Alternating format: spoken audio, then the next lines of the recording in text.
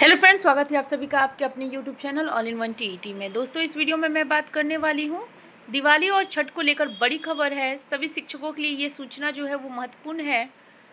तो चलिए फ्रेंड्स, बढ़ते हैं वीडियो की तरफ़ और जानते हैं संबंधित जानकारी को।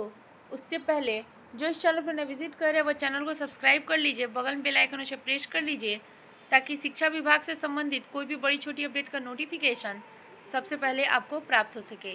तो फ्रेंड्स पढ़ते हैं वीडियो की तरफ़ और जानते हैं संबंधित जानकारी को। दिवाली और छठ पर अवकाश में शिक्षकों ने की संशोधन की मांग। शिक्षक नेता आनंद पुष्कर ने बिहार के शिक्षकों की ओर से राज्य सरकार से दिवाली व छठ पर्व के अवसर पर विद्यालयों की अवकाश तालिका में आंशिक संशोधन की मांग की है। शिक्षक नेता ने निदेशक, शिक्षा विभाग को पत्र भेजा है। पत्र में कहा गया है कि इन महत्वपूर्ण त्योहारों के दौरान छुट्टी की अपर्याप्तता से शिक्षकों और शिक्षकेतर कर्मियों को व्यक्तिगत व पारिवारिक दायित्व निभाने में कठिनाई हो रही है।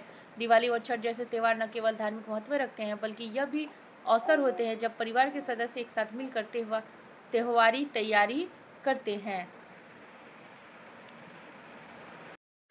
विशेष रूप से महिला शिक्षकों की घरेलू जिम्मेदारियों का हवाला देते हुए सरकार से अपील की गई है कि अवकाश में कटौती करना उनके साथ अन्याय होगा। पत्र में यह भी बताया गया है कि छठ व्रत बिहार का एक प्रमुख त्यौहार है, जिसमें परिवार के सदस्यों का योगदान अत्यधिक होता है।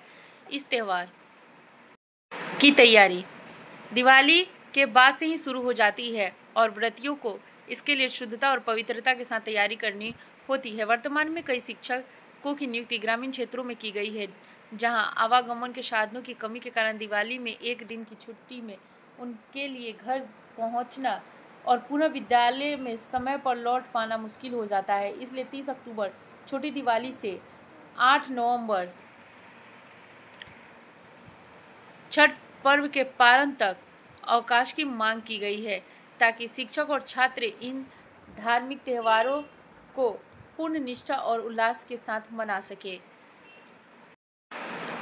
शिक्षक नेता आनंद पुष्कर ने अवकाश में संशोधन के लिए निदेशक को भेजा पत्र। 30 अक्टूबर, छोटी दिवाली से 8 अक्टूबर, छठ के पारण तक अवकाश की मांग की। वीडियो को अंत तक देखने के लिए आप सभी का धन्यवाद। वीडियो पसंद आए तो वीडियो को लाइक करें, चैनल सब्सक्राइब करें, दोस्तों में शेयर करें। धन्यवाद।